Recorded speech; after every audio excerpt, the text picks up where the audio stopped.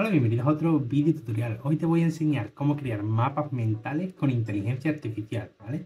Vamos a crear con inteligencia artificial el código y lo vamos a pasar a una aplicación para que nos cree el mapa mental de una forma muy fácil y gratuita, como siempre en este canal. Así que vamos a verlo. Los enlaces te los dejaré todos en la descripción, ¿vale? Vamos a ir a ChatGPT para que nos cree el código Markdown para hacer el mapa mental. Y le vamos a decir lo siguiente.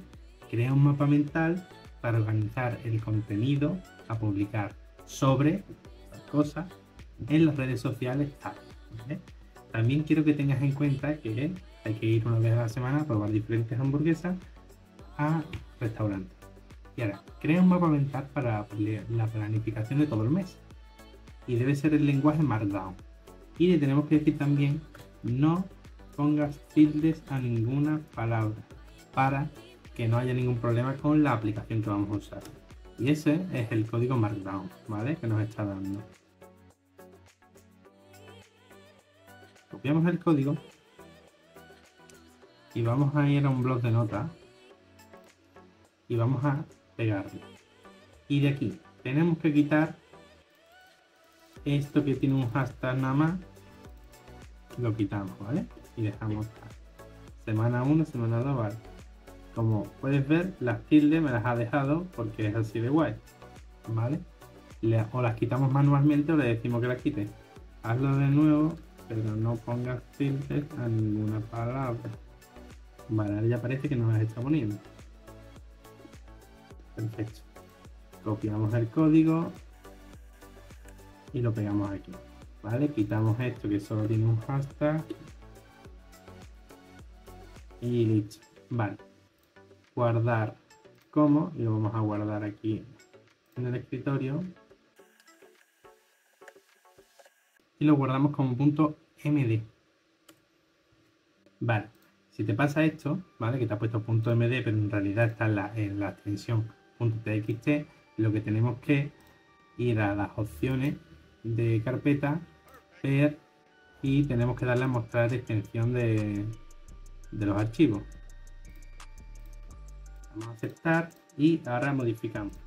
Quitamos el punto .txt y le dejamos el formato cambiado. Perfecto. Ahora nos vamos a ir a el enlace que os he dejado en la descripción de Xmind, ¿vale? Y vas a llegar a esta página.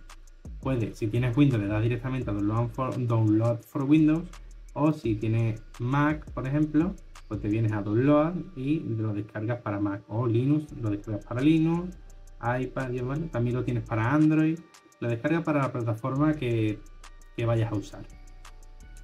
Una vez que lo descargas, pues lo instalas. Es una instalación muy sencilla con dos pasos, ya no necesitas nada más. Te puedes registrar dándole a el muñequito este de aquí arriba y le das a Create Account, an account, ¿vale? Una vez que estás registrado, abres el programa Xmind no es necesario registrarte, pero si te registras, pues ahí lo tienes. Puedes usar plantillas, ¿vale? Todas estas plantillas. O le das a nuevo proyecto, listo. Ahora, ¿qué es lo que hacemos? Bien, una vez que abrimos el programa y le hemos dado a nuevo, le tenemos que dar a los tres, las tres rayitas de aquí arriba, archivo, importar, markdown.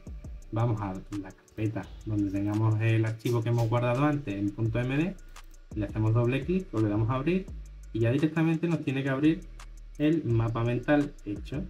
Fíjate, aquí las planificaciones para publicaciones, la semana 2, semana 3, semana 4 y actividades semanales. Cada viernes, cada sábado publicar un resumen, tal, ¿vale?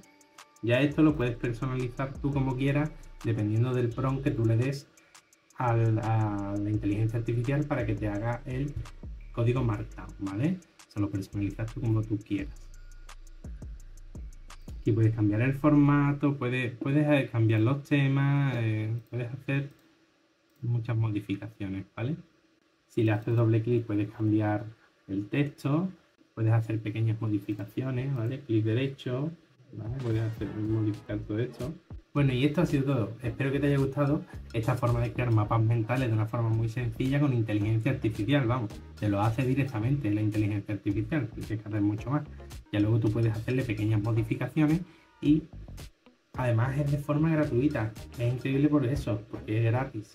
También tiene su versión de pago, pero no es necesaria. Y está muy bien para organizarte la mente con tus mapas mentales. Bueno, espero que te haya encantado y nos vemos en el próximo vídeo.